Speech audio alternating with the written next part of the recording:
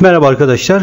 Bazı ağaçlarımıza dadanan salyangozlardan koruma e, için çok basit bir yöntemden bahsedeceğiz. İşte gördüğünüz gibi bir pet şişeyi kesiyoruz. Altından çok az bir boşluk bırakıyoruz ve bunu ağacın e, yerden yaklaşık 1 metre yükseklikteki kısmına koyuyoruz ve bu şekilde salyangozlar geliyor. Altını da açık bırakırsak eğer bir tuzak şeklinde de olacak buraya girecek olan salyangozlar ölecek.